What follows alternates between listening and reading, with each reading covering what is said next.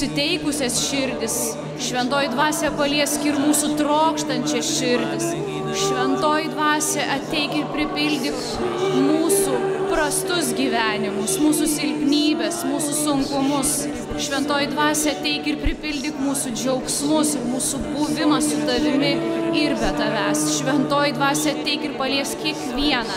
Ateik ir dabar pripildyk, ateik ir dabar būk su mumis savo meilės liepsnos gale. Ateik šventoji dvasia, ateik.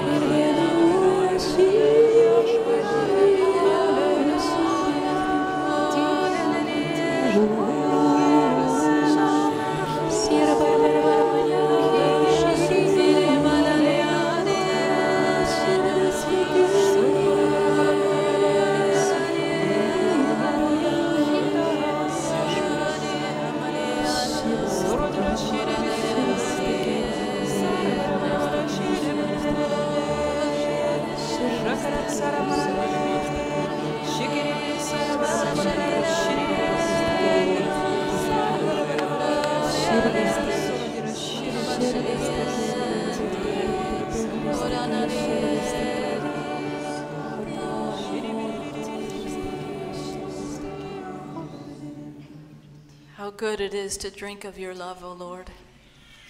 Kaip gera yra gerti tavo meilę viešpatie. This room is just filled with the Lord's love. Šis kambarys tiesiog pripildytas Dievo meilės. Let's just take another drink, just drink it in. Tai dar gerkime, dar gerkime Dievo meilės. He wants to fill your heart with His love. Nes nori jisai mus pripildyti sklidinai. Let's just lay our hand on the brother or sister near us and just say, Lord, Uždėkime Lord vienas fill him ant up. Lord, fill her up. Thank you, Lord. More, Lord. More, Lord. Thank you. Thank you, Lord. Hallelujah. Hallelujah.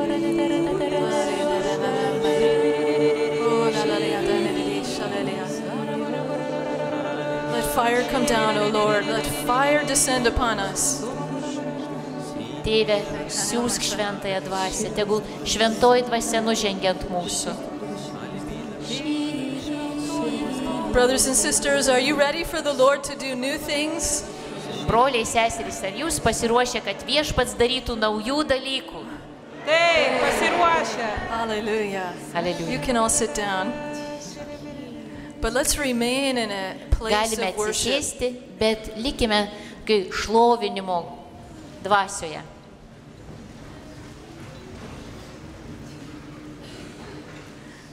Just remain in the presence of the Lord this whole evening. Visą vakarą pasilikime viešpaties akivaizdoje. We're going to ask for a fresh outpouring of the Spirit. Nes mes prašysime naujo šventosios dvasios išliejimo. We're going to ask for the baptism in the Holy Spirit, Prašysime šventosios dvasios krikšto, new empowerment and new gifts. naujo įgalinimo, naujų dovanų. And we're also going to pray for healing. Ir taip pat melsimės dėl išgydymo. But this is not about me. Bet tai nieko bendro su manim. My mission is not to come to a place as somebody who has a big gift of healing. Mano misija nėra atvykti kokią nors vietą, tarsi aš turėčiau didžiulę gydimo dovaną. My mission is to convince people, as the Lord has convinced me, Mano misija yra įtikinti žmonės taip, kaip ir viešpats mane įtikino, that His gifts are for all of us. kad jo dovanos yra mums visiems. And He wants to do miracles through all of us. Ir jis nori daryti stebuklus per mus visus. So, the first thing that we ought to do Tai pirmiausia, ką mes darysime. is to clear away some obstacles. Mes šalinsim kliūtis. The first obstacle that I, I spoke about earlier Ir pirmoji kliūtis, kurią jau anksčiau minėjau, is unforgiveness. yra neatleidimas. Sometimes we're not even aware that unforgiveness has been lodged in our heart.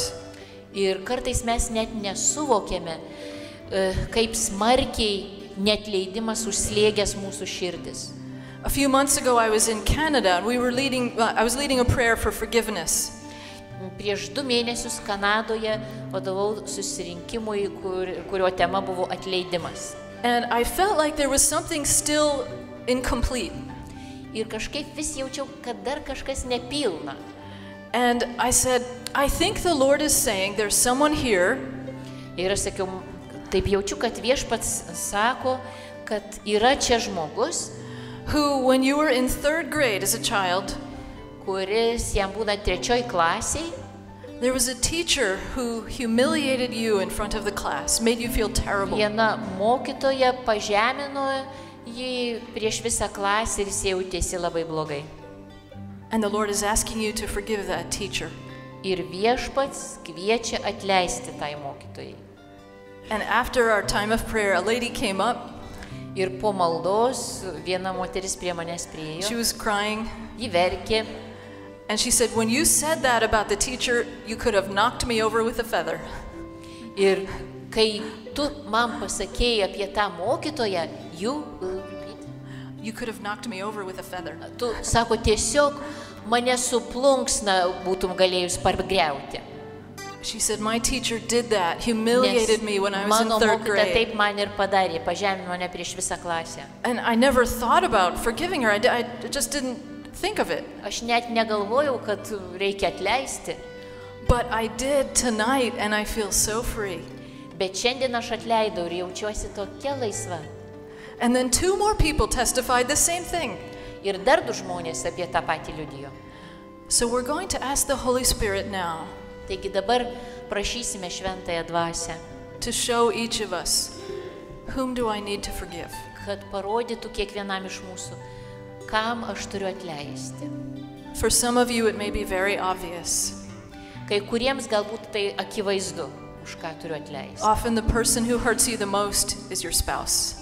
Dažniausiai labiausiai tave sužeidęs žmogus yra tavo vyras ar žmona, tavo Sam- sutoktinis. Sometimes it's your mother or your father, things that happened many years ago. Arba mama ar tėtis ir tai atsitiko prieš daug metų.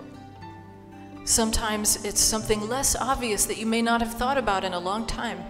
O kartais galbūt ir netaip akivaizdu ir apie tai net negalvoju jau seniai. So let's listen to the Holy Spirit for a moment and pray, Lord, who do I need to forgive? Tai tiesiog klauskime šventąją dvasę, klausykime ir klauskime kam aš turiu atleisti.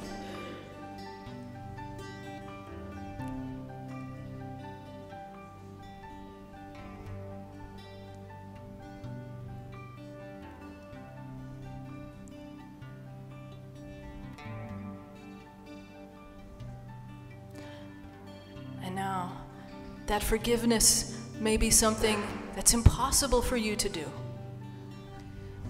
Gal kai kuriem net neįmanoma atleisti. Jesus can do it in you. Bet Jėzus jumise gali tai padaryti. You just choose to say yes to Him. Jūs tiesiog pasirinkite ištarti taip Jėzui Choose to forgive from the heart. ir atleisti iš visos širdies. And so I invite you to pray, repeating this prayer. Tai kviečiu jūs melstis kartuojant šią maldą. Lord Jesus, Viešpatie Jėzau, I forgive this person. Aš atleidžiu šiam asmeniui. And, and in your heart, name the person Ir savo širdyje ištarkite jo vardą. for what they did to me. Už tai, ką jis padarė man. As you have forgiven me, Taip kaip ir tu man atleidi. so I forgive. Taip ir aš atleidžiu. I let go Aš tiesiog paleidžiu tai.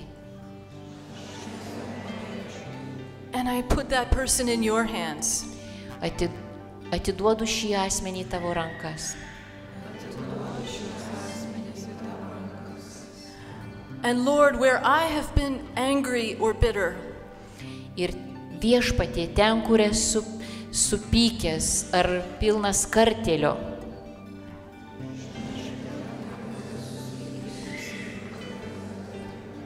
that's my sin. tai mano nuodėmė. And I repent. Ir aš atgailauju. I ask you to set that person free Meldžiu išlaisvink tą žmogų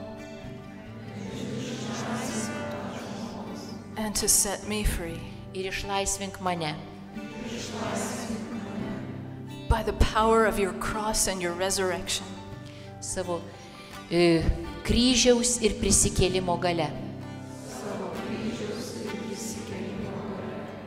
And I ask you to bless that person Meldžiu, kad palaimintum tą žmogų. That they would be with you in heaven forever. Kad jis būtų su tavimi danguje per amžius.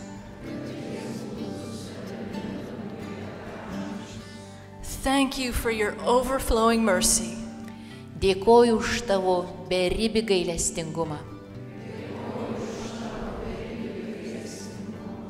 I pray in your name. Meldžiu tavo vardu.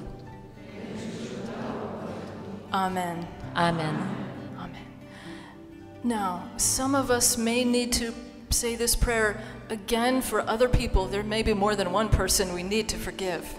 Galbūt kai kuriem iš mūsų reikia vėl ir vėl kartoti šią maldą ir ne tik už vieną žmogų, bet ir už kelis. And there also may need to be a national forgiveness.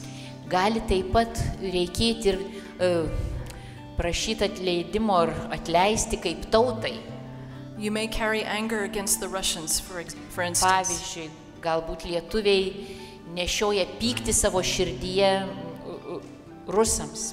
And the Lord is inviting you to let go. Ir viešpats kviečia paleisti. So let's take a moment for you to repeat that prayer in your own words. Taigi dar šiek tiek laiko skirkim šiai maldai, kartokime ją savo žodžiais, forgiving whoever the Lord wants you to forgive. Atleiskime, ką, kaip vieškas veda mus ir skatina mus atleisti. So we'll take a moment for that. Tai šiek tiek laiko skirkim tam.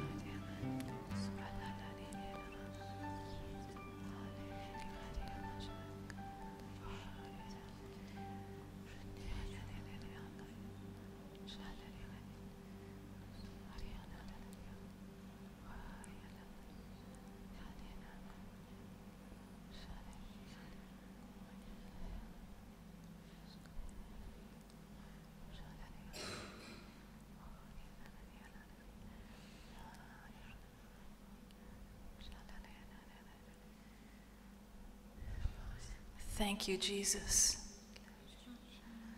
Thank, Dėkojame Jėzau, dėkojame tau. thank you for breaking the chains of unforgiveness. Dėkojame už tai, kad tu traukai netleidimo grandinės. Now, let's address another obstacle.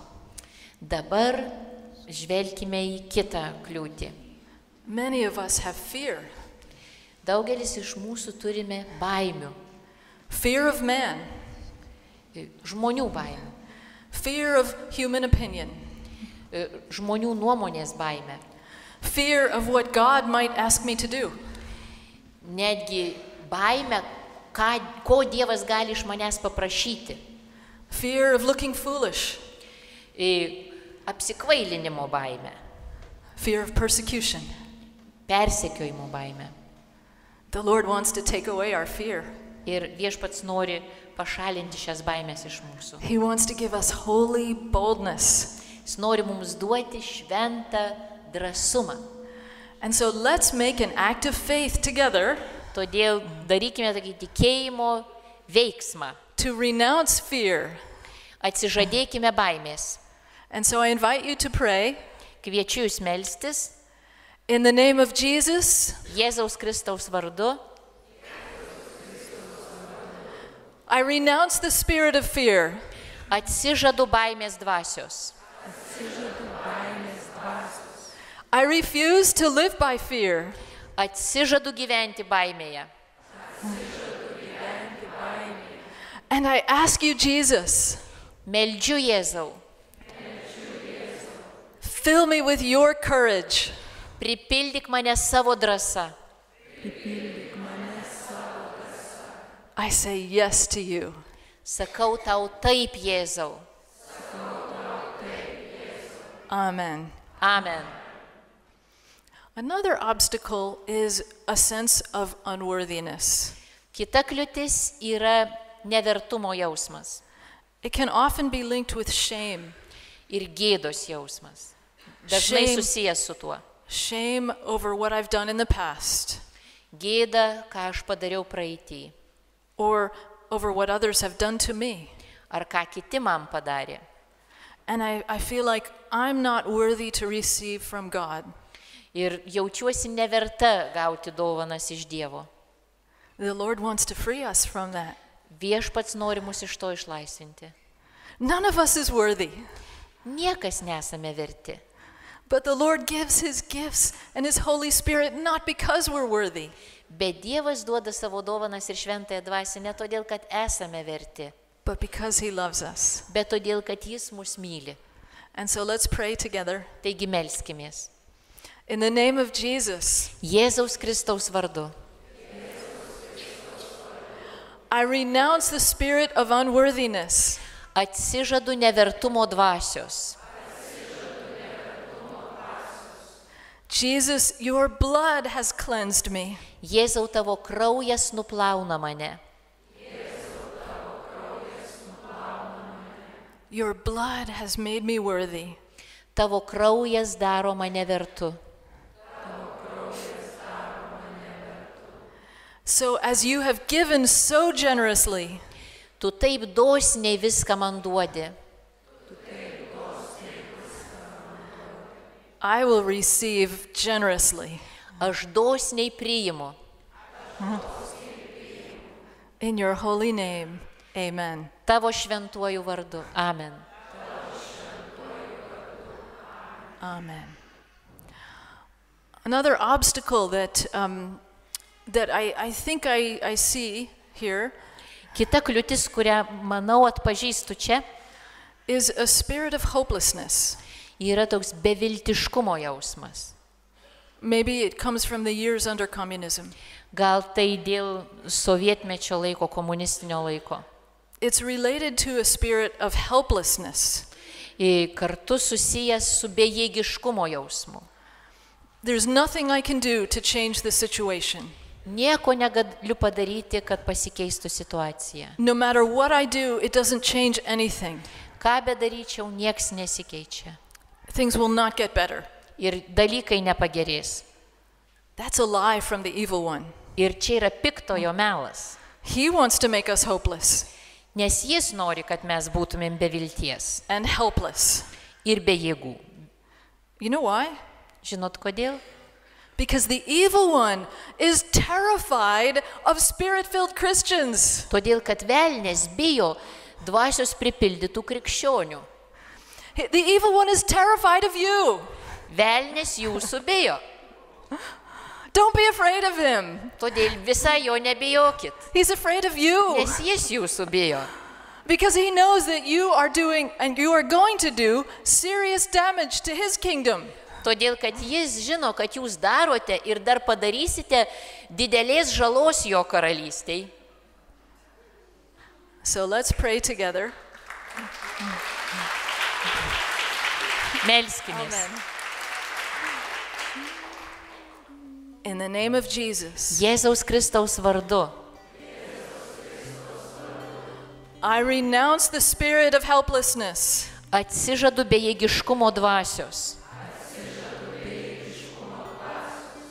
I renounce the spirit of hopelessness. Atsižadu beviltiškumo dvasios. I break the power of that spirit. Sudaužau šių dvasių jėgą. I proclaim the victory of Jesus. Ir skelbiu Jėzaus pergalę. And I will walk in the victory of Jesus. Ir aš vaikščiosiu Jėzaus pergalėje. Amen. Alleluia. Amen. Aleliuja. And one more Ir dar vienas. is a spirit of doubt, Abejonės dvasia. skepticism. Skeptiškumo dvasia. We live in a world full of skepticism. Gyvenam pasaulyje, kuris pilnas skeptiškumo. We live in a world that doubts the truth of the gospel. Gyvenam pasaulyje, kuris abejoja Evangelijos tiesa. And it's easy for us to be affected by it. Ir lengva būti paveiktiems. So let's pray against that. Tai melskimės prieš tai. In the name of Jesus, Jėzaus Kristaus vardu. I renounce a spirit of doubt. Atsižadu abejojimo dvasios. I renounce a spirit of skepticism. Atsižadu skeptiškumo dvasios. I renounce a spirit of unbelief. Atsižadu netikėjimo dvasios. Lord, I believe. Jėzau viešpatie aš tikiu. Help my unbelief. Padėk mano netikėjimui. Amen. Amen. Hallelujah. Aleliuja. Okay, I think we have cleared the atmosphere of a lot of obstacles. Manau, truputėlį pravalėm nuo kliučių visą mūsų atmosferą. Do you think there are any others that I may have missed? Any other important Ar jūs manote, kad dar yra kas nors, kokios kliūtis, dėl kurių reikėtų pasimelst už visus? Pride. Pride. Okay, yeah, that's good. that's good. Let's renounce the spirit of pride. Uh, and fear of the future. Fear. Of, the, well, we covered fear. Yeah, okay. Jealousy. Okay, we'll count that with pride. Okay, in the name of Jesus, Jėzaus Kristaus vardu. I renounce the spirit of pride. Atsižadu puikybės dvasios. I renounce egoism. Atsižadu egoizmo. I renounce jealousy. Atsižadu pavydo. I renounce rivalry. Atsižadu konkurencijos. And I renounce every spirit Atsižadu kiekvieno, kiekvienos dvasios, that wants to bring glory to me. kuri nori man teikti garbę. Jesus, to you belongs the glory. Jėzau, tik tau vienam garbė. Give me your humility. Duok man tavo nuolankumą and your simplicity. ir tavo paprastumą. Amen. Amen. Okay. Can, um, can the music ministry play? Can you ask the music ministry Music play ministry. Šlovinimo giesmė. just the keyboard? Ah, keyboard. yeah, Okay, just I so we can- A, a song, no? Worship song, no? Yeah, let's do a worship song. Yeah. Šlovinimo giesmė. Gėdokime dabar ir toliau tęsim. Tavo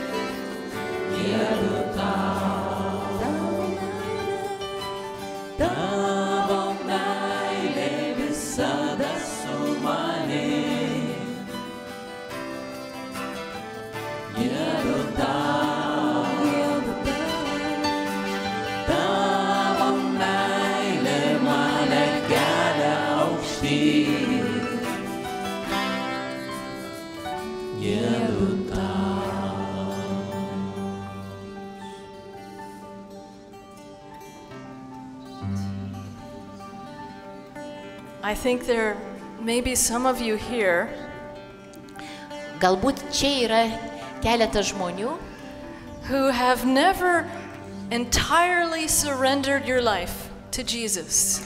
kurie dar nėra savo gyvenime visiškai atidavę savęs Jėzui. I know you're all Catholics, you've all been baptized, Žinau, kad jūs katalikai, visi pakrikštyti, but there's something about consciously choosing to give your heart to Jesus bet aš kalbu apie sąmoningą savo širdies atidavimą Jėzui. and making a decision that from now on my life belongs completely to Him. Toks asmeninis pasirinkimas, kad nuo šiol mano gyvenimas priklauso Jėzui. To do that gives the Lord freedom to work in your life. Kai tai padarome, mes suteikiame Jėzui laisvę veikti mūsų gyvenime. How can we not say yes to such a wonderful Savior? Kaipgi mes galime nepasakyti taip tokiam nuostabiam gelbėtojui? How can we not entrust our lives completely to Him? Kaipgi mums visiškai jam netiduoti savo gyvenimo?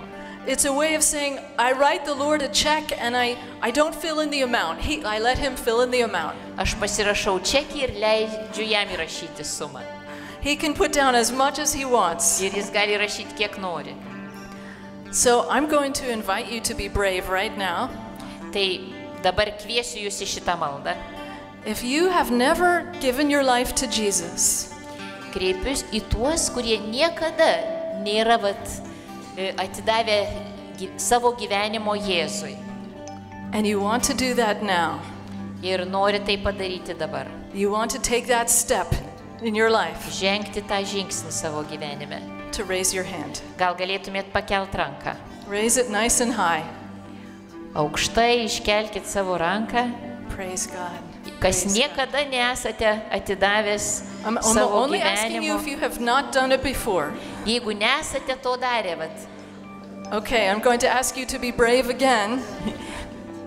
tai iš tiesų y- yra drasus žingsnis.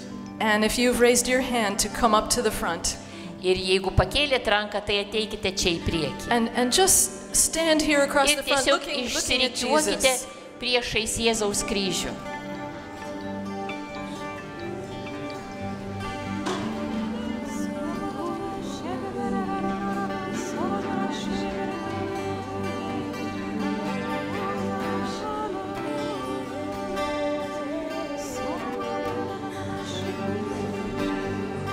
I think the Lord is so happy. Manau, kad viešpats tikrai labai džiaugiasi. He is so happy. He's been waiting for this moment. Iš tiesų jisai laukia šito momento.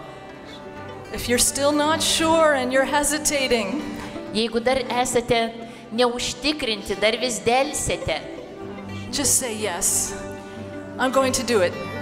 bet vis tiek sakykite taip ir viešpats viską padarys. Just come. There's nothing better you could do in your whole life. Iš tiesų nėra nieko geresnio, kas gali įvykti mūsų gyvenime, kaip atiduoti save Jėzui. Now, I invite everyone who's here at the front, Ir kviečiu dabar visus tuos, kurie išėjote į priekį, who you're, you're giving your public yes to Jesus. tokį viešą e, taip Jėzui. I invite you to pray this prayer. Ir kviečiu, kad melstumėties šią maldą. And I invite everybody to pray this prayer too Ir with them. aš kviečiu, kad kartu ir visi kiti, kur, kurie stovime toliau, melstumėmės šią maldą. Lord Jesus Christ, Viešpatie Jėzau Kristau, thank you for dying for me on the cross. dėkoju, kad mirėjai ant kryžiaus už mane. Thank you for forgiving my sins. Dėkoju, kad atleidai mano nuodėmės. I choose you now as my Savior Aš renkuosi tave kaip savo gelbėtoją and as the Lord of my life. ir savo gyvenimo viešpatį. I give my life completely to you Atiduodu savo gyvenimą visiškai tau.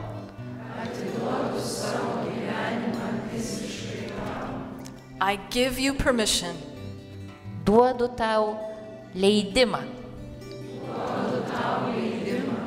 to do whatever you want in my life. daryti mano gyvenime viską, ko tu nori.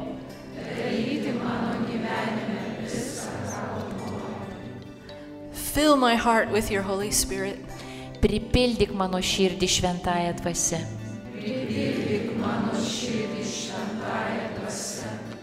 Let my life bring you glory.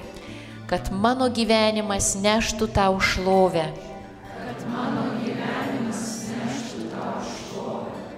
Thank you, Jesus. Dėkoju Jėzau.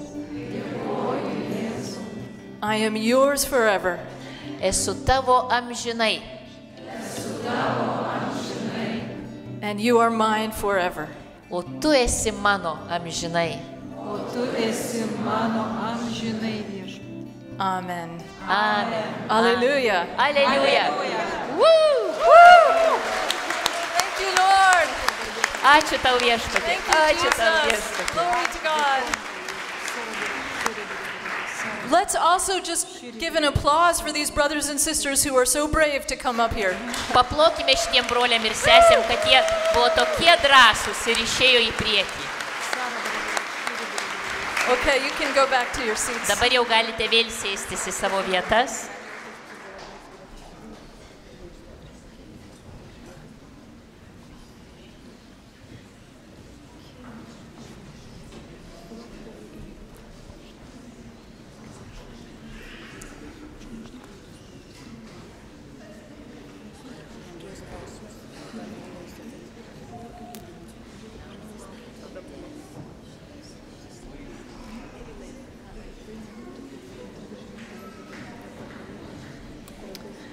We're going to pray together for the Holy Spirit to come, Dabar melsimės, prašydami, kad ateitų šventoji dvasia, for God to baptize us in His Holy Spirit. kad viešpats krikštytų mus šventąją dvasia. So I invite you to stand up.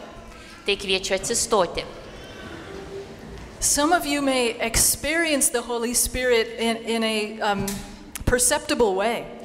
Ir kai kurie gal patirėte šventąją dvasę tokiu juntamu būdu, You may begin to shake, gal netgi tokiu drebėjimu, or you may feel a, a tingling, ar tokius tarsi skrusdėlės bėgioja, or you may begin, dilgčioja.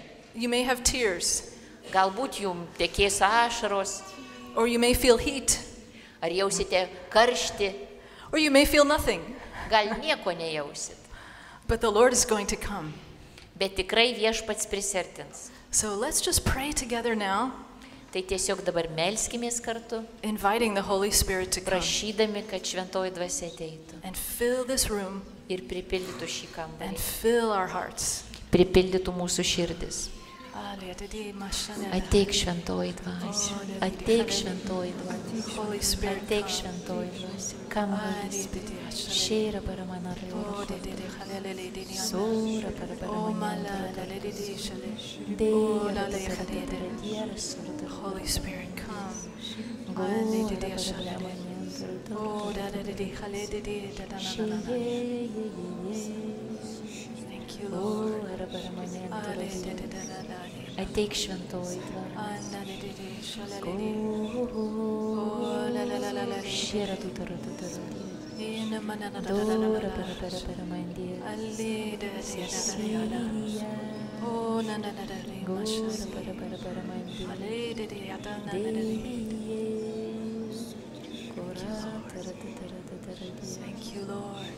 Gora para para para para.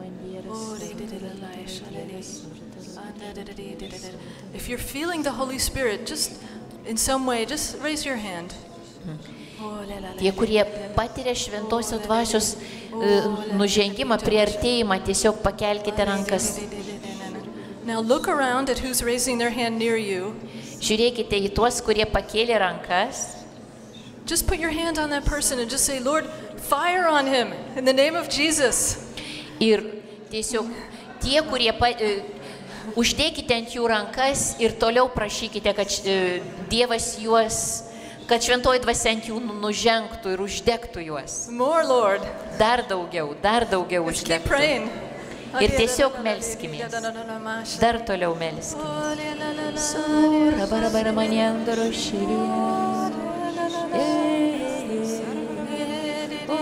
Oh,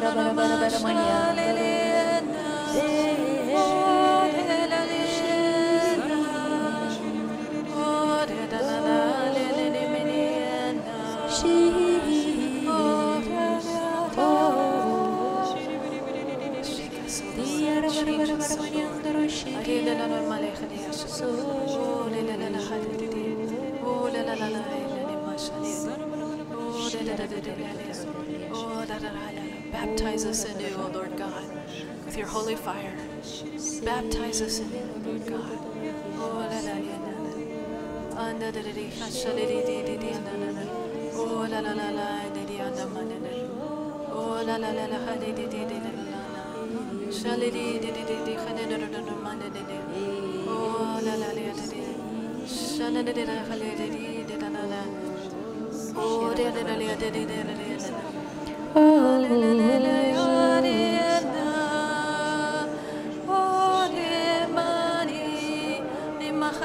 Shalihini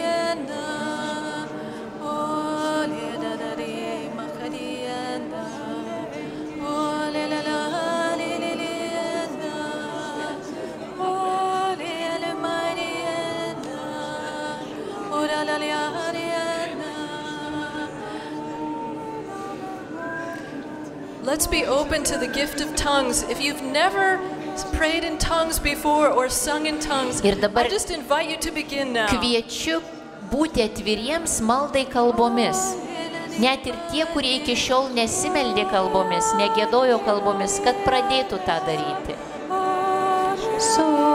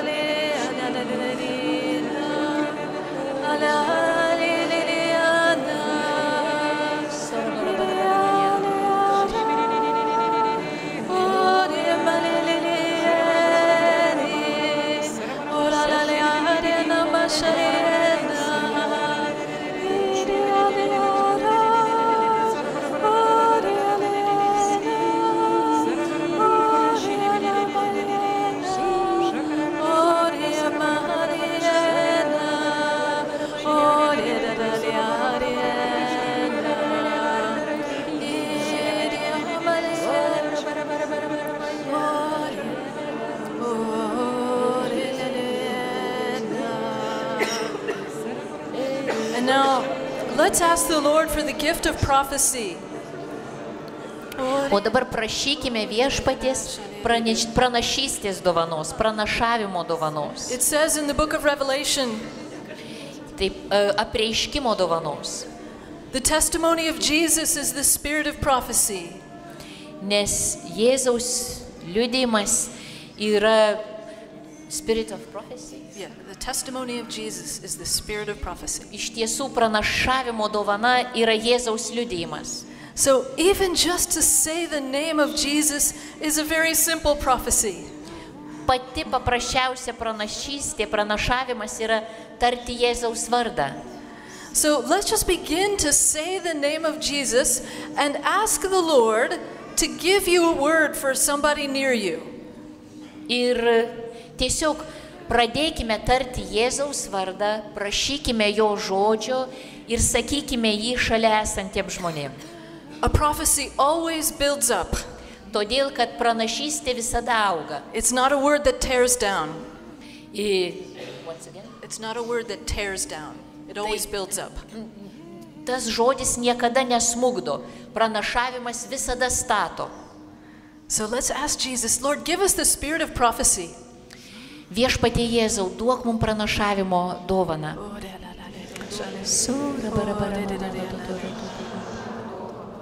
And now let's just listen to him.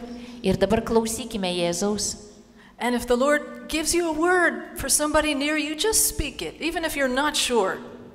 Ir tikrai viešpats duoda jums tą žodį, tą mintį ir jūs išdrįskite ją pasakyti šalia esančiam. Oh,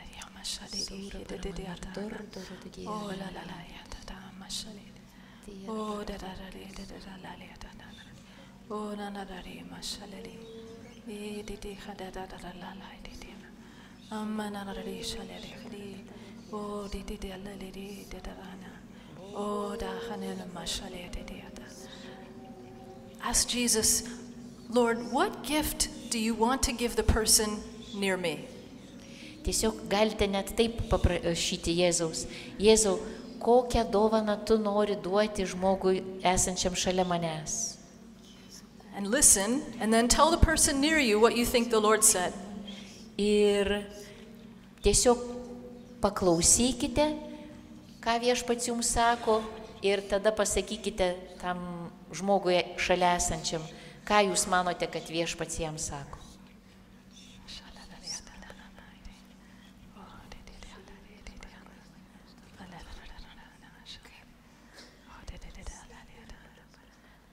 Now tell the person near you what you think the Lord is saying. Tiesiog pasakykite šalia esančiam žmogui, ką jūs jaučiat, ką atpažįstat, kad viešpats jums sako.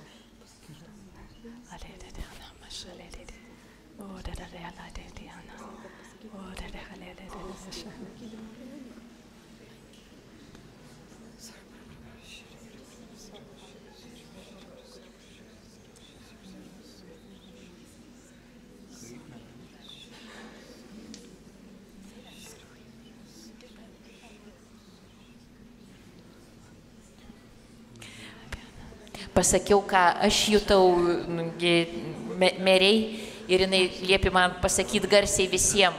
Kai meldėmės truputėlį anksčiau, man buvo toksai aiškumas, kad velnės cypdamas lekia lauk. Cypdamas lekia lauk. Screaming, running away. Screaming and running away. Va tas toksai cypdamas lekia lauk. I think the Lord is asking us to do a prophetic act. Iš tiesų viešpats prašo, kad mes žengtumėm tokį mm, mm, pranašavimo žingsnį. I think the evil one has held many of us in oppression. Piktasis daug mus yra prispaudęs. And the word from Isaiah was the Lord saying, Ir e, žodis iš pranašo Izaijo buvo toks. I have broken the rod of the oppressor.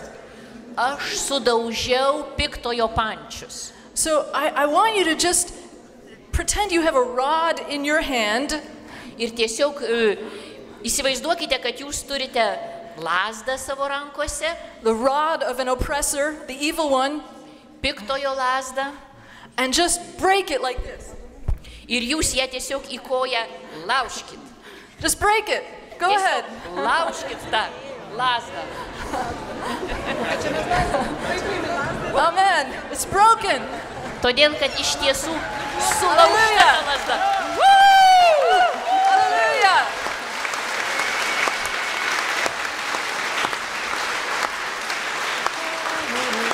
Someone had a word about the spirit of death. Dabar melsimės atsižadėdami mirties dvasios. Let's just say, in the name of Jesus, Jėzaus Kristaus vardu. Jėzaus Kristaus vardu. the spirit of death is broken. M- Mirties dvasia sudaužyta.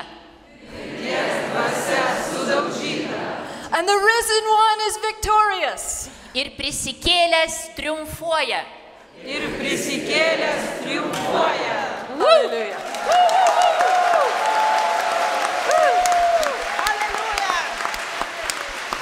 sing us another song of praise. Dar šlovinimo giesmę gėdokime.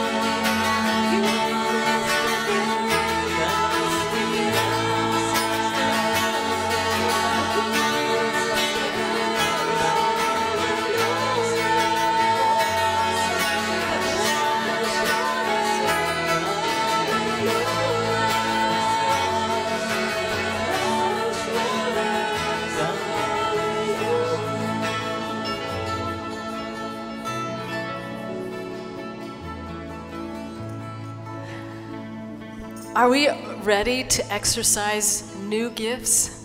Ar jūs pasiruošę prašyti ir naujų dovanų? Hallelujah. Let's pray over each other one more time.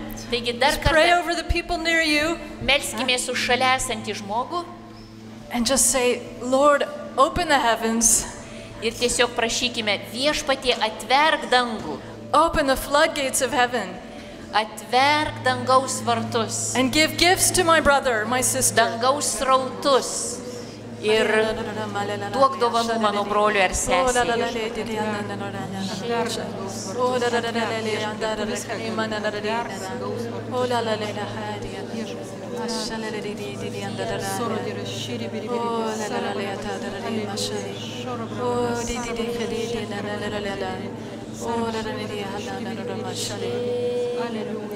Hallelujah. Now, let's listen to the Lord for a prophetic word.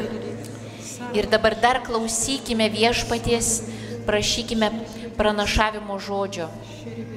And if the Lord gives you a word, Ir jeigu viešpats duoda žodį, even if you're not 100% sure it's the net Lord, jeigu ir nesat šimta procentų užtikrinti, we only learn by trying.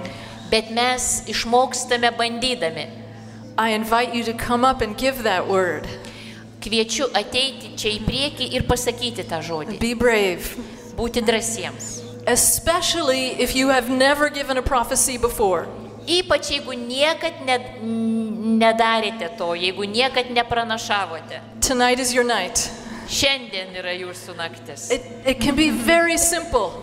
Tai gali būti labai paprastas žodis, It doesn't have to be a long word, net nelabai ilgas. just a very simple word. So let's listen. Taigi klausykime.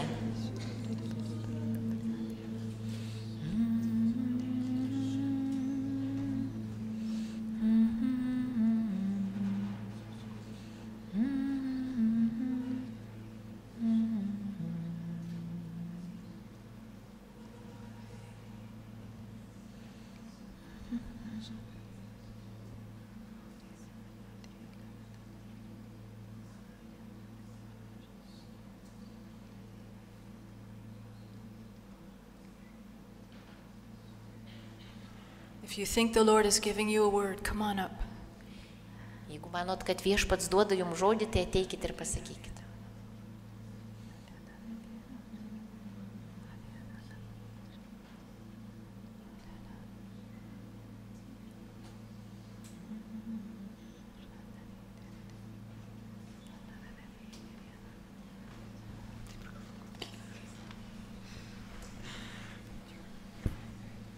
Tiesiog man tos eilutės užstrigo kažkaip. Uh, mumise turi atsiskleisti Dievo darbai. Tai tiek. Dar kartą? Uh, mumise turi atsiskleisti Dievo darbai.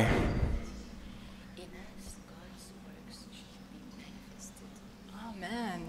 Amen. Aš manau, kad Dievas duoda žodį. Pabūk su manimi.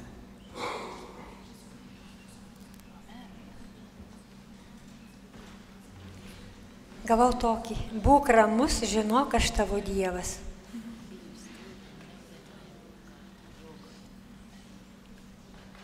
Dievas visus čia myli labai.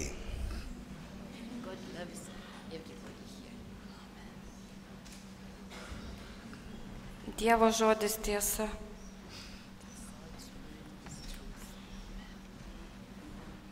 Aš jūs draugais vadinu.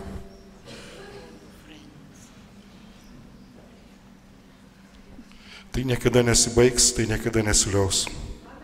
Amen. Būkite drąsūs kelyje.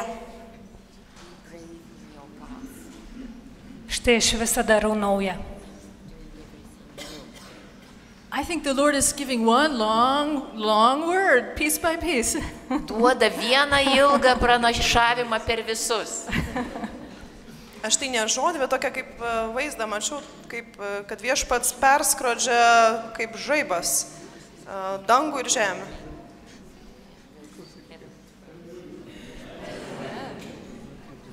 Atėjo tokia laisvė per tiesą.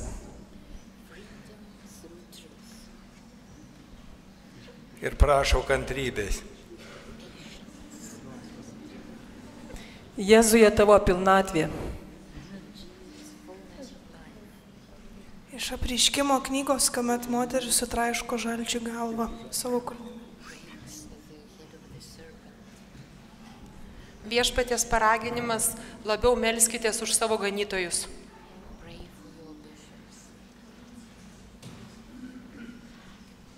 Gyvenk manyje, visa manyje, visa per mane.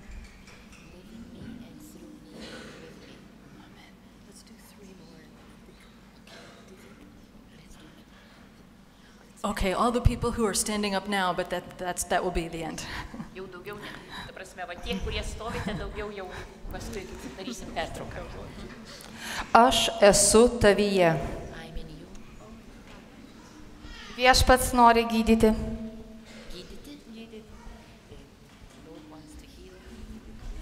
Tikėjimas, viltis ir meilė.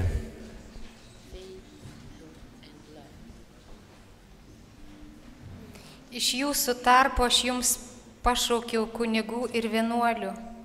Jie dėl jūsų. Jutau karštino vienuolės.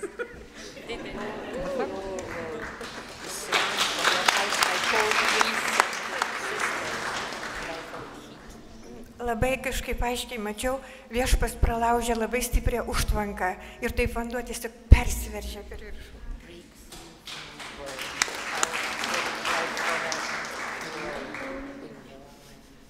Kažkas iš čia esančių yra kviečiamas kovoti su mirties kultūra ir turi išdrysti žengti pirmus žingsnius.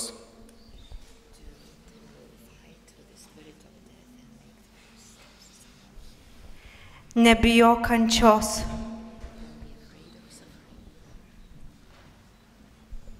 Aš pati po tave, aš kviečiu tave, eik ir pranašau, gydyk tie miesto ligonius. Mokyme metu jau kilintą kartą girdžiu, kad bažnyčiose vyks charizminis atsinaujinimas. Stiprus.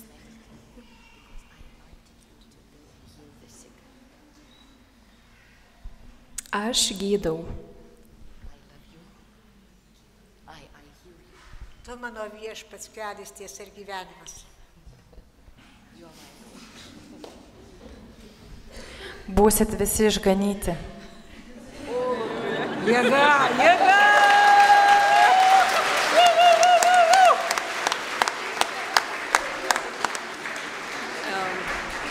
Labai aiškiai irgi išgyvenau tokį, kad viešpas mus kviečia meilį. Jis sakė, iš to pažins visi, kad esate mano mokiniai, jeigu mylėsite vienas kitą, bet tas vienas kitą labai aiškiai suvokiau, kad tai nėra čia.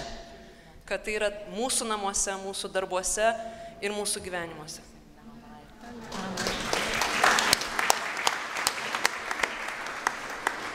Laiminga tauta, kuri išrinkta būti viešpaties nusavybė.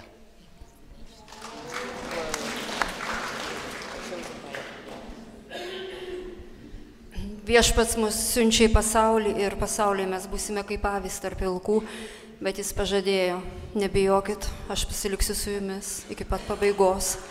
Ir mūsų laukia dvasinis proveržis. Hallelujah! Let's give applause for all the people who were brave enough to come and give a word. Paplokime visiems drąsiems žmonėms, kurie atėjo pasakyti gautą žodį.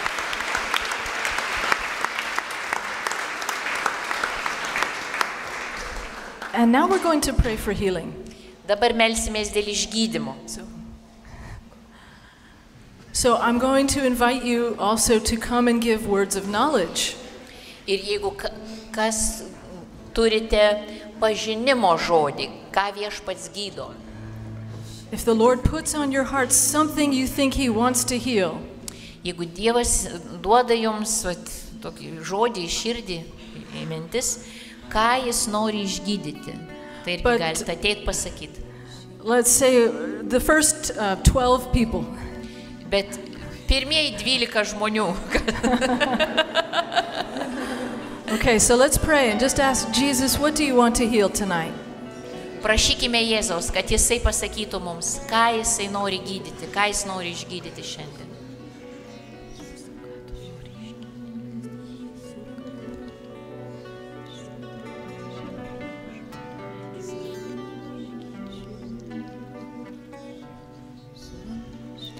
I'm going to share with you what I think the Lord told me.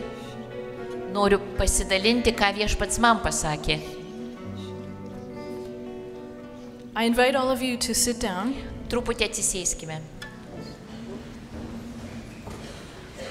I'm going to mention a few things, and then I'll invite the first 12 of you who have a word of knowledge to come up and give it. E, Aš tiesiog pasidalinsiu ir paskui kviesiu 12 žmonių, kurie pirmieji išeis, e, kad galėtų pasidalinti.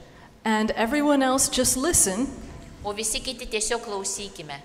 And if someone mentions a condition that you have, Ir jeigu kas nors pa, e, paminės tą lygą, kurią jūs turit, then stand up. tada atsistokit. And we're going to pray for you. Ir tada aš melsiuosi už jūs. Now, sometimes it's something very personal and you, you don't, you, you feel uncomfortable. Kartais tai labai asmeniškas dalykas ir jūs nejaukiai jaučiatės.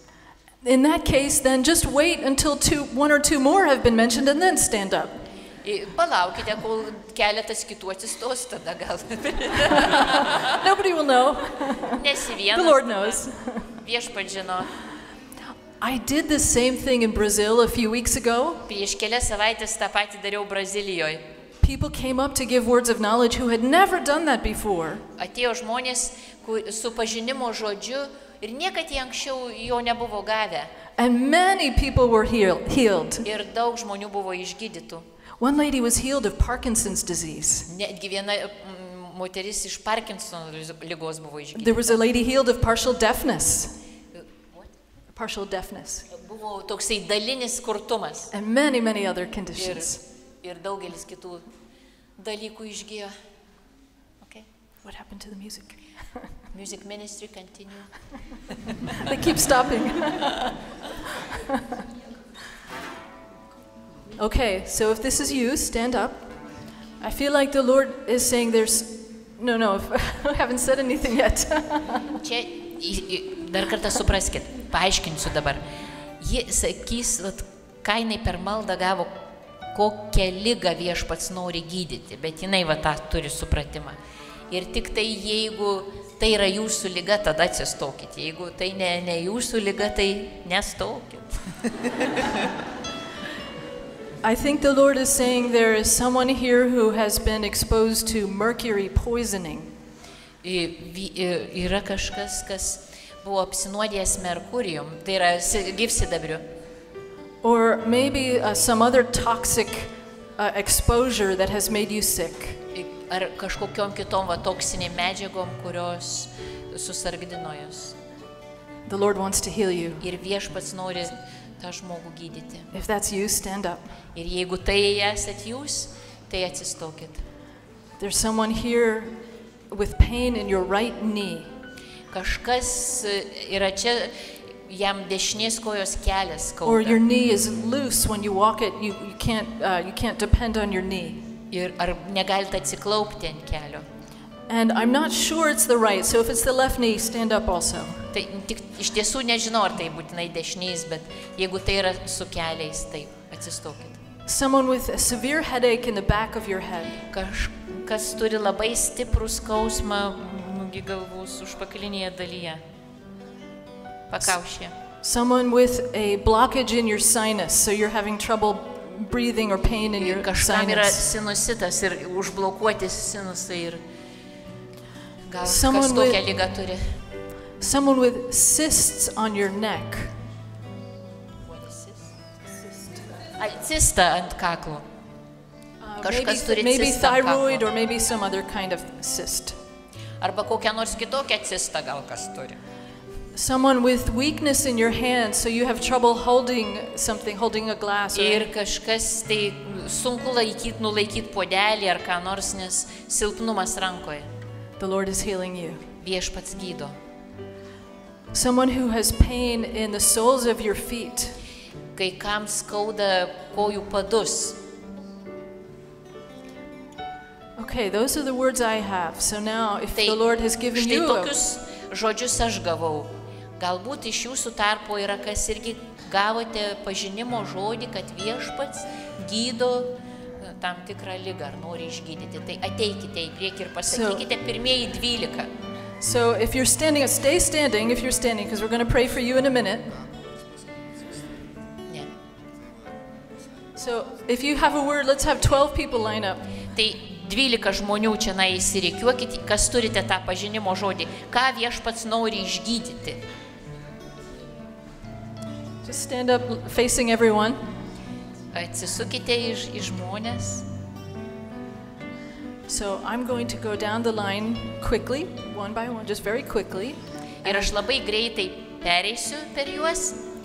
Everyone else listen. Ir visi kiti And klausykime. if, if it applies to you, stand up. Ir jeigu tai apie jūs, tas vat pažinimo žodis atsistokit. 11, one more. Dar vienas gali ateiti, jeigu kas turi pažinimo žodį.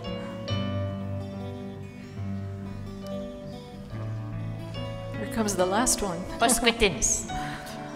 Okay, so I'll, I'll just go down the line, then you can translate for me. Dievas gydo kairės kulkšnės problemas, kažkas su to ir taip pat stuburą, ypač apatinę dalį, gal išvarža kažkokia buvo.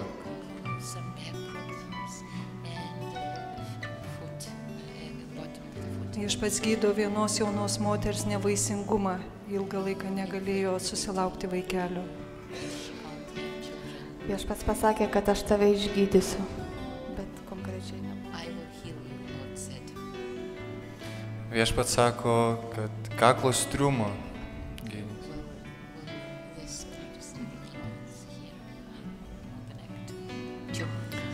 Vidutinio amžiaus moteriai Jėzus gydo kepenų kažkokią lėtinę lygą, kuri labai sen, senai sergant ir dabar yra išgydymas. Viešpats gydo moterį nuo viršsvario dvasios, laisvina ją.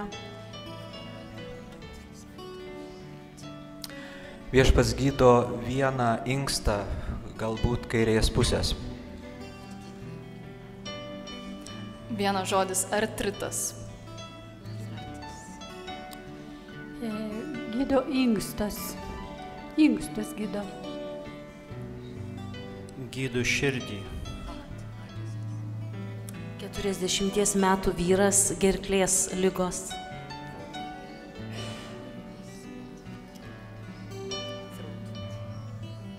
E, Nugaros viršutinė dalį, pečių arba stuburo skausmas, e, nepatogumas nugaroje. Okay, thank you. You can go back to your seats. Dėkojame, galite grįžti. Now, look at all the people standing up. Pasižiūrėkite, kiek sustojusių.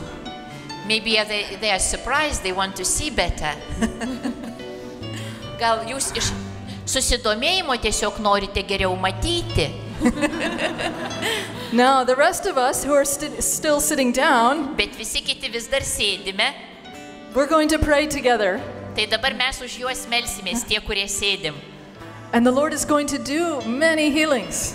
Ir viešpats tikrai daugybę žmonių išgydys. So stretch out your hand over a person standing up near you. Taigi ištieskime rankas į tuos žmonės, kurie stovi šalia mūsų. And let's pray in the name of Ir Jesus. melskimės Jėzaus vardu. Holy Spirit, come. Heavenly Father, release your healing in these bodies. Tėve, dėkojame tau už išgydymą šių brangių brolių ir sesių. Do a mighty work of healing, Lord Jesus. Viešpatie Jėzau, Do a mighty work of healing. daryk savo nuostabius darbus čia. Come and make these bodies whole. Ateik viešpatie ir tegul visi šitie kūnai pasveiksta. In the name of Jesus, we speak to the pain and we say, Pain, leave in the name of Jesus. Jėzaus Kristaus vardu mes dabar kreipiamės į skausmą ir sakome, tegul pasitraukia skausmas iš šitų We kūnų. command all the cysts and tumors in the neck to disappear, shrink, and disappear in the name of Jesus. Ir mes įsakom visom cistom ir visiems augliam šiuose kūnuose dingti. Kidneys be healed in the name of Jesus. Kepenys, kad būtų ir, ir inkstai, kad būtų išgydytos. Arthritis pain, we banish you. We command you to leave. Artrito skausmas, tegul atsitraukia.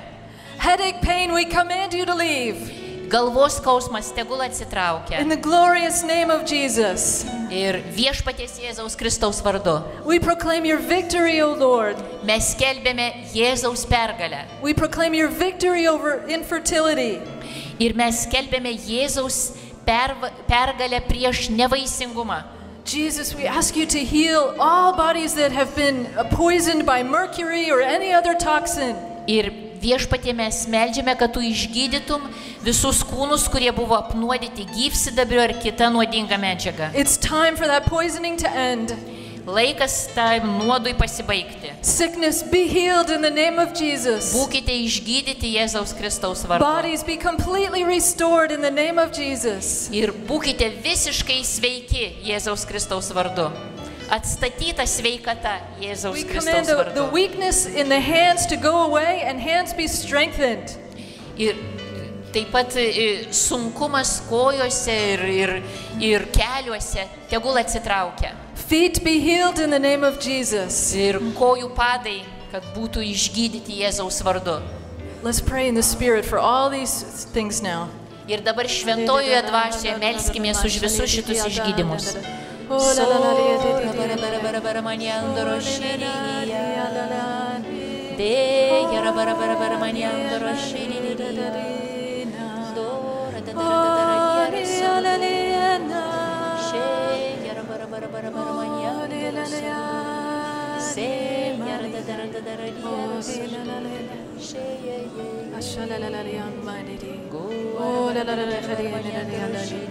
Lord, you are the God of miracles.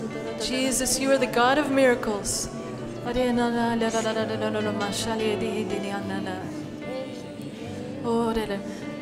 Now, everyone who is standing up, raise your hand if, if nobody has laid hands on you yet for healing.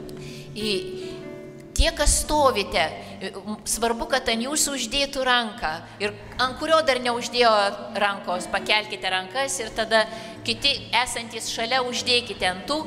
Everyone else, kas- just lay hands on, on Taip, people around you, just for a ant tų, second. kurie iškėlė ranką. It doesn't Kai have to jau be long. uždeda, tai jau jūs nuleisite. Just very briefly. Ir labai greitai dar kartą melskimės. Just ask the Lord to come with His healing Tiesiog power. prašykime, kad viešpats ateitų, prisiliestų ir išgydytų. Thank you, Lord. Thank you for hearing our prayers. Thank you, Lord Jesus. Thank you, Lord, for your mighty power.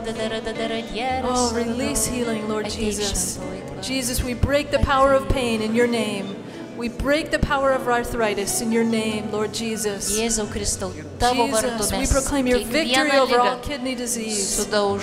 Jesus, we proclaim your victory over pain in the soles of the feet. Tegul tavo karalystė Thank you, thank you, thank you, Lord Jesus.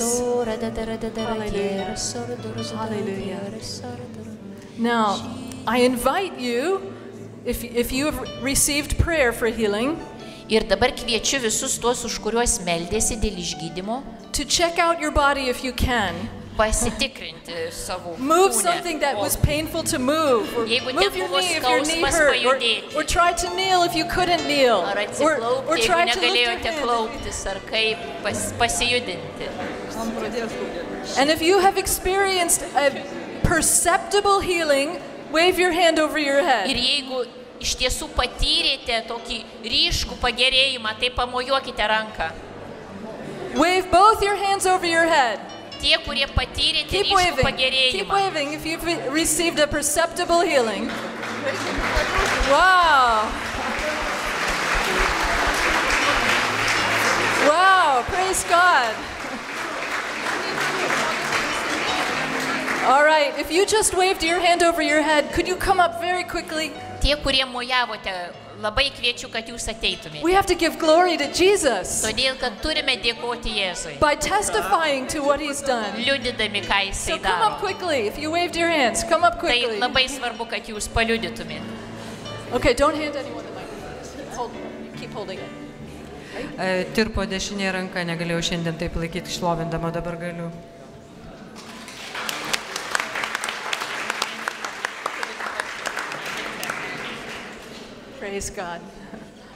Man jau kelios savaitės buvo skausmas dešiniam kely Ir jis dingo ir aš tikrai meldžiau jau prieš pradant maldą dėl išgydymo, kad jis paimtų šį skausmą ir jis paėmė.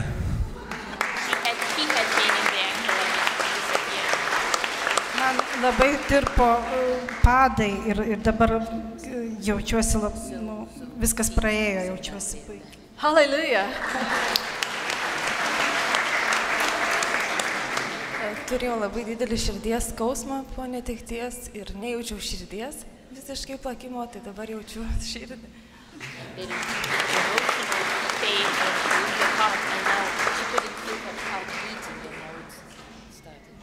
Jau kurį laiką skaudėjo stuburo apatinę dalį ir dabar va pamaldos man pagerėjo. Praėjo skausmas. Ačiū. Hallelujah. Sergu reumatoidiniu artritu ir viešpats paėmė skausmus. Reumatoidinis artritas. Arthritis and she, she was healed. For how long did she have it? Senai. Virš dešimt metų. 10 years. Glory to Jesus. Man prieš keturis mėnesius buvo operuotas kairys kelias, bet matyt nelabai sėkmingai ir man jį skaudėjo ir pastoviai ir sulenkus koją aštriai. Va, dabar vos vos jaučiu ten tokį švelnų spaudimą tik tai. Me also was operated and very painful and now he doesn't feel it. Garbė Jėzui. Aš jaučiu atvažiavus čia spaudimą labai sprandę, stuburą, net išsitiesti man buvo sunku, besimeldžiant tokia švelni šiluma tik perlėjo ir staiga viskas va taip ir nuėmė kaip ranką ir išsitiesiau.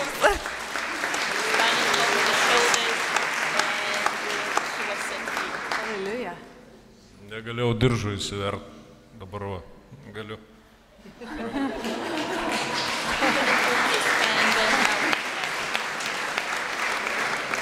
Viena ranka išoperuota, riešo kanalo sindromas ir laukia operacija antros ir mano pirštas tas ir grupeliai va, dalinausi, jis pritrauktas buvo, aš jo neištėsiau, jis stringa ir dabar dar kažkaip, bet jo nebeskauda. Ir aš tikiuosi, kad man tos antros operacijos antrai rankai nereikės, gal viešpats išgydys ją. Hallelujah. Ačiū Jėzui. Nežinau, atsistojau, nes sakė dėl sinusito, tai iš karto atsistojau, nes labai su nosim kažkas blogai buvo.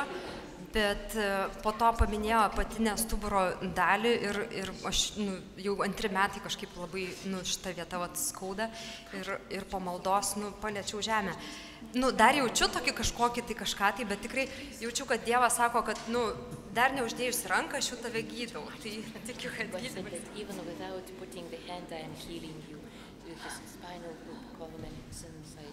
Oh, praise God. Turėjau didelį skausmą su dubeniu, kur susijungia koja. Ja, Nieko.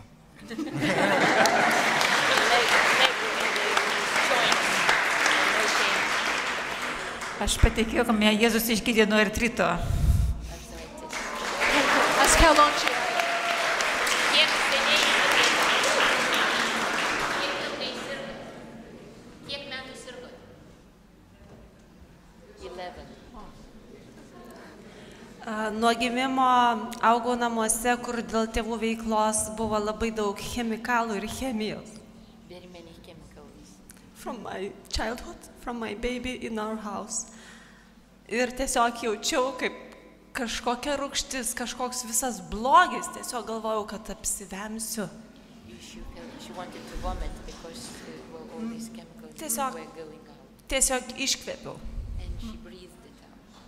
Thanks be to God.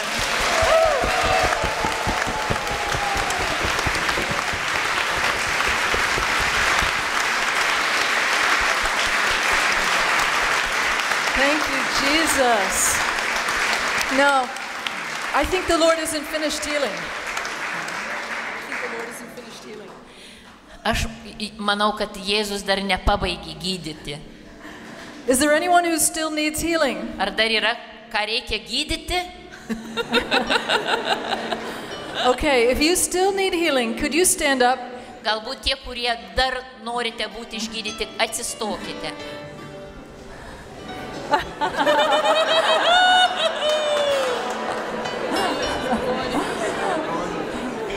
Praise God, He loves to heal. nu kaip nuostabu. Kita pusė dabar. Viena pusė jau išgydyta. Okay, I invite you to ask a person near you, what do you need healing from? Taigi dabar, tas žmogus, kuris yra arčiausiai jūsų, tegul paklausia, u- e, kokio išgydymo tau reikia.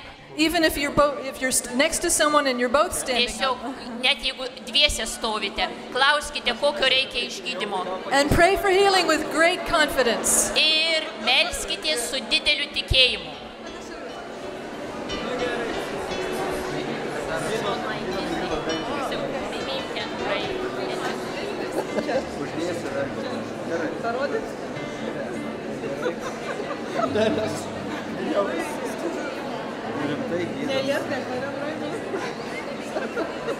Na gerai, viskas, vėliau. And I invite you, when we pray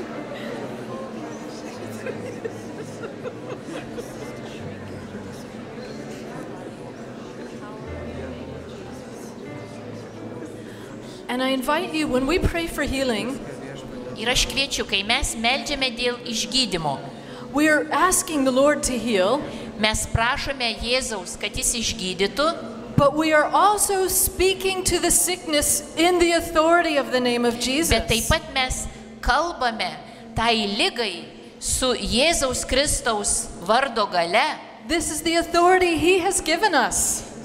Ta valdžia Jėzus mums davė. He told us, He didn't say, pray for the sick. Jis nesakė, e, tik tai melskitės už ligonius. He said, heal the sick. Jisai sakė, gydykite ligonius. So we're speaking to the condition cancer, I command you to leave in the name of Jesus. Taigi mes sakome, tiesiog kreipdamiesi į lygą. Pain, I- Vėžį Jėzaus Kristaus vardu išeik iš šito žmogaus. iš Pain, I šito tell you kūno. to go in the name of Jesus. Jėzaus Kristaus vardu įsakau šitai lygai išeiti iš žmogaus. Pray that with great confidence. Ir su dideliu pasitikėjimu Jėzumi melskitės šitai.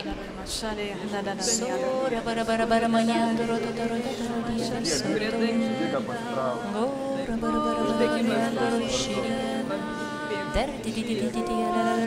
Maria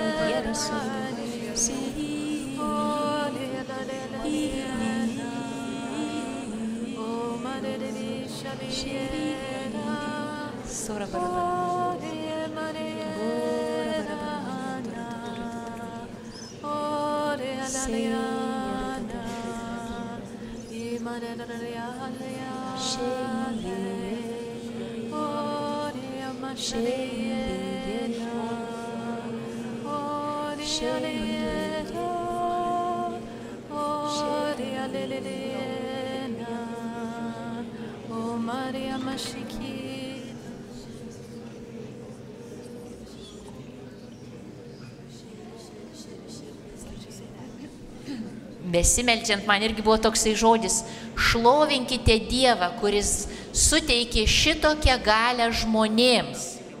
Šlovinkite Dievą, kuris suteikė šitokią galę žmonėms. If you're receiving prayer, Jeigu jūs priimate maldą, if you feel anything happening, tingling or heat or jeigu shaking, jaučiat kokį tai e, dilgčiojimą ar karštį, raise your hand. pakelkite ranką, jeigu kas jaučia tokius pojūčius. Dilgčiojimą, ka, šilumą, Raise it nice and high. aukštai pakelkite ranką savo, kas jaučiate. Okay, let's keep praying. Thank you, Toliau Lord, mes. for what you're doing. Dėkojame tau, Jėzau, už visą tai, ką tu darai. We ask you for more. Ir Touch prašome these daugiau, bodies, Lord. Bring full healing. kad tu visiškai išgydytum šitos žmonės. Sometimes we have to fight against sickness. Kartais iš tiesų reikia ir pakovoti prieš lygą. We have to fight against it in the name of Jesus. Jėzaus Kristaus vardu. You are contending for your brother and your sister. Tiesiog mes ir už savo brolį ir sesę turim pakovoti, pasipriešinti tai lygai.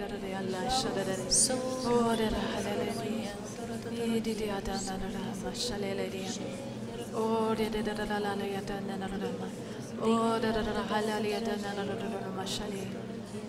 di di di halala di da da di limane.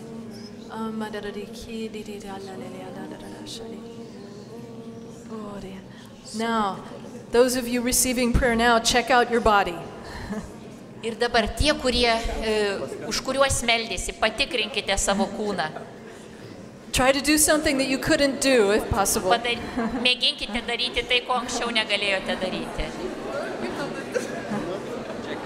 Yra dar. Jaučiasi? Nieko praeis iki vakaro. If you have received a perceptible healing this time, wave your hand. Ir jeigu tokį ryškų e, išgydymą patyrėte, pamojuokite ranką. Jeigu dabar, kai meldėmės, ryškus pagerėjimas. Hallelujah. Raise it nice and high. Wave your hand. Hallelujah.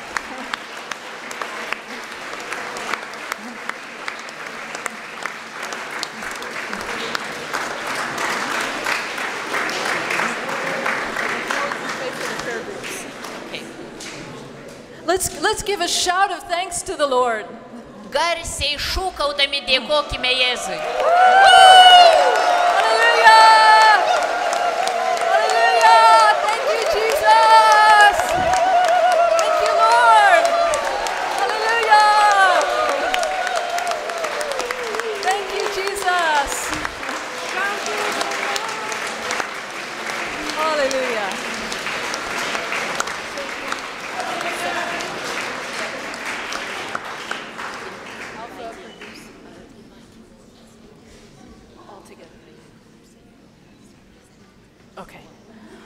Okay, one more thing um, uh, we're going to do this evening. Dar vieną dalyką. Gal, galima atsisėsti. We want to pray over representatives from all the groups that are here. Norime pasimelsti už atstovus iš visų grupių, kurie yra čia. The Alpha teams, Pavyzdžiui, Alfa komandų vieną atstovą. communities, and prayer groups. Iš atskirų bendruomenių po vieną atstovą. So why don't you why don't you give them the instructions? Tai mūsų sumanimas yra toks, kadangi grupių regis, e, nuo grupių registravosi daug žmonių, tai jeigu yra vadovas tos grupės, būtų gerai, kad jis ateitų. Jeigu e, nėra vadovo, tai kas nors vienas, kuris jį atstovauja. Tai ar tai maldos grupė, vienas žmogus su tikru vardu grupės, ar bendruomenės, e, nugi, koksai nors atstovas po vieną vadovą arba atstovą.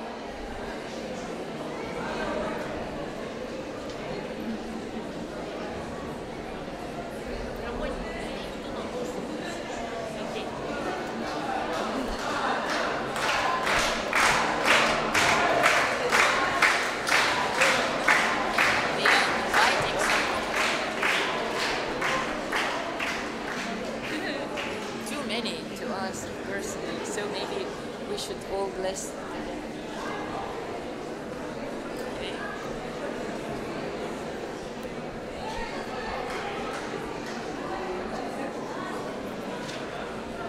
We're going to pray a blessing.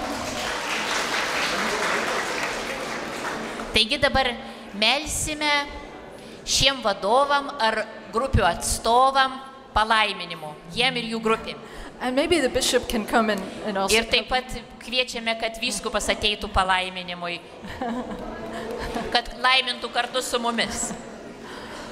We're going to ask the Lord to bring a new fruitfulness for these prayer groups, communities, and alpha teams. Ir mes melsime, kad viešpats duotų naują vaisių, naują derlių šioms grupėms, alfa komandoms, bendruomenėms, kurias jie atstovauja. A new release of the gifts of the Holy Spirit. Ir naują šventosios dvasios dovanų išlaisvinimą. And a new harvest of evangelization. Ir taip pat naują evangelizacinį derlių. Bringing in the lost, bringing the lost home to the Lord. Kad pražuvę būtų sugražinti namo. So we're praying for them and for all the groups they represent. Taigi mes melžiamės už juos ir už visas grupės, kurias jie atstovauja. So let's extend our hands and and maybe Bishop, if you Taigi ištieskime rankas ir galbūt vis, vyskupas nugi, pasimels už juos.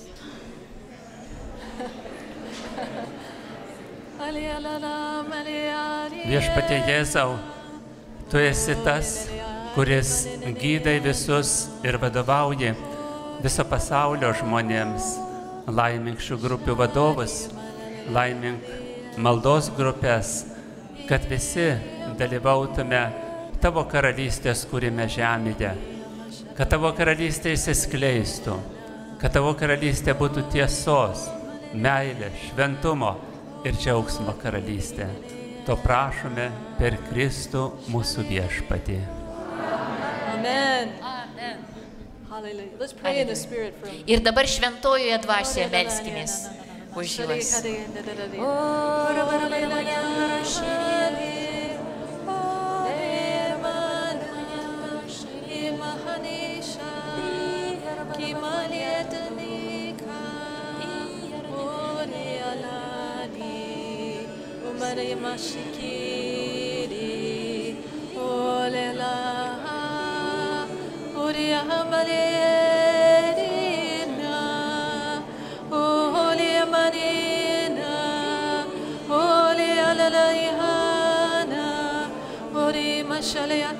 Eh, I feel like we should pray for unity.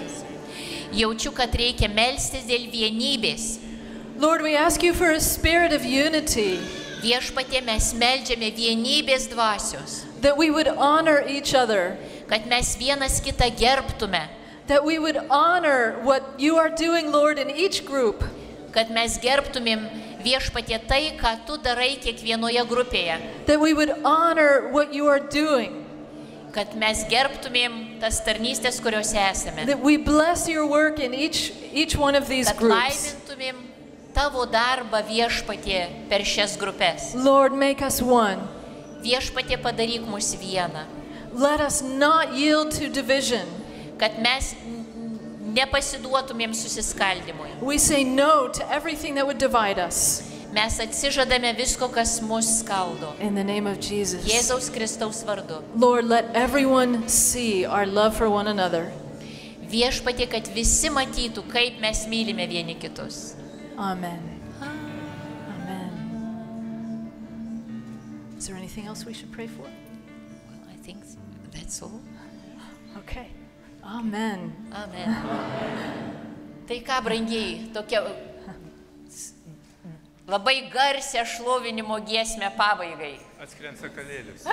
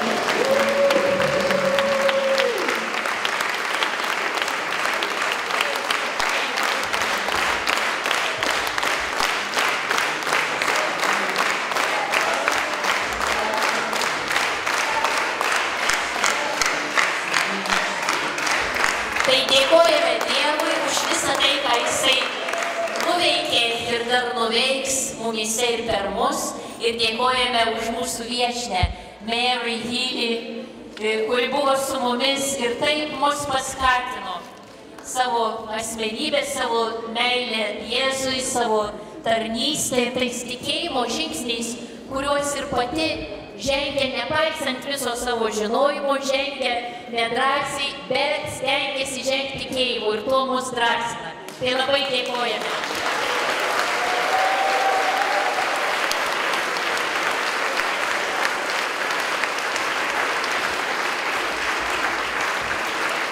Tai aš kviečiu, kad mes, ne, kaip sakant, nepraeitų ši diena kaip nuostabus prisiminimas, ot tai buvo, ot tai buvo, bet kad mes tuo ir gyventumėm, grįžę į savo grupės, į tas misijas, kuriuose esame, kad tikrai išdrįstumėm žengti tikėjimo žingsnius ir džiaugtumėmės tą galę, kurią Dievas davė krikščionims, tą šventosios dvasios patepimą ir galę Jėzaus Kristaus vardu gydyti, laisvinti, guosti ir visą, ką, ką Jėzus kviečia mus daryti. Tai nuostabu, kad tai galim daryti ir tą darykime. Ir dabar kviečiu, kad mes palaimintumėme irgi e, malda ir giesme. Tai jeigu, if you Mary stand here, so that we could see you.